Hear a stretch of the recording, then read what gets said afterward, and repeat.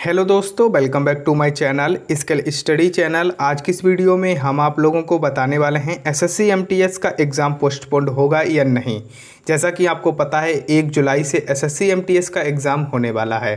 तो दोस्तों, क्या एस एस का एग्ज़ाम पोस्टपोन हो पाएगा या नहीं? या इसके एडमिट कार्ड आ जाएँगे? और एडमिट कार्ड आएँगे तो कब तक आएँगे? अगर ये एग्ज़ाम पोस्टपोन होगा तो कब तक पता चल जाएगा? दोस्तों, इससे रिलेटेड मैं पहले भी कई वीडियो बना चुका हूँ, लेकिन बहुत ज़्यादा कमेंट्स आते हैं और जो लोग मेरे साथ नए लोग जुड़ते हैं उनको ये अपडेट मैं देने वाला हूँ। तो आप लोग इस वीडियो को बिना स्किप किए हुए बिल्कुल एंड तक अवश्य देखना। वीडियो में आगे बढ़ने से पहले दोस्तों, मैं आप लोगों से रिक्वेस्ट करना चाहता हूँ कि हमारे चैनल पर हमेशा एसएससी के एग्ज़ाम से रिलेटेड हर अपडेट सबसे पहले दी जाती है। तो अगर आप एसएससी के किसी भी एग्ज़ाम की तैयारी कर रहे हो तो चैनल को सब्सक्राइब करके बेल आइकन को प्रेस कर दीजिए, ताकि मैं जो भी नेक्स्ट वीडियो लेके आऊँ, उसका नोटिफिकेशन सबसे पहले आपको मिले। तो दोस्तों, बात की जाए एस एस का एग्ज़ाम पोस्टपोन्ड होगा या नहीं?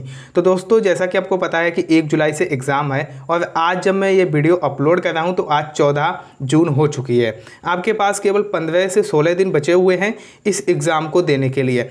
लेकिन दोस्तों, अगर एसएससी का एडमिट कार्ड इसका एग्ज़ाम होता तो दोस्तों एसएससी इसका एडमिट कार्ड आज या कल या सोलह था, यानी चौदह, पंद्रह, सोलह। इन तीन दिनों में एसएससी इसका एडमिट कार्ड जारी कर देगा।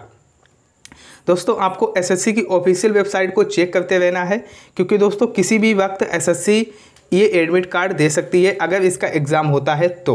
अगर दोस्तों, इसका एग्ज़ाम नहीं होगा तो इन्हीं तीन दिनों के अंदर पंद्रह, सोलह और चौदह तारीख जो मैंने आपको बताई है, फ़िलहाल आज चौदह तो निकल चुकी है, लेकिन पंद्रह, सोलह में आप लगा सकते हैं दोस्तों एस एस के एग्ज़ाम पोस्टपोन्ड का भी नोटिस आ सकता है।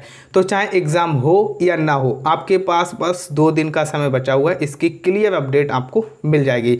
तो जो भी लोग कमेंट करते हैं, वो कमेंट करना बंद कर दीजिए, क्योंकि दोस्तों, बस आप दो दिन का इंतज़ार कर लीजिए, दो दिन में आपको कोई ना कोई अपडेट अवश्य मिल जाएगी, क्योंकि अगर एसएससी का एग्ज़ाम होता है एस एस का तो एडमिट कार्ड भी आपको पंद्रह दिन पहले ही दे देता है। जैसा कि एस एस सी का जो अभी एग्ज़ाम हुआ था, जो पोस्टपोन्ड हो गया था तो उसमें भी बिल्कुल सेम यही हुआ था कि बारह अप्रैल से एग्ज़ाम था और बारह अप्रैल के एग्ज़ाम होने के बाद ये अट्ठाईस तारीख को, अट्ठाईस तारीख को शाम चार बजे के आसपास एडमिट कार्ड आ गया था।